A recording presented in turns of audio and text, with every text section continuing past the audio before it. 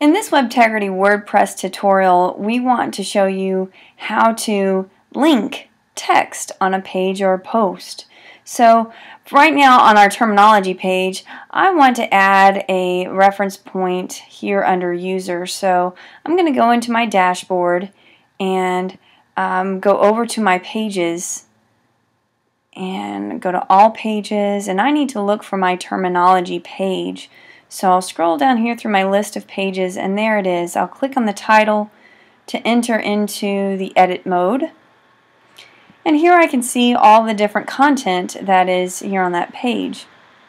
Well, I know that I want to say something like um, see add a user for more details.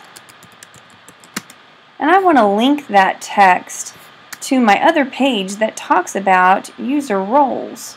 So I'm going to highlight the text that I want to link. There's a little icon up here that looks like a chain. It says insert or edit link. You're going to click on that and at this point you can either drop in the URL if you already know it or if it's an external URL you can drop it in there um, or you can check um, existing content right here and it's going to open up all of your pages that are in your website, pages and posts.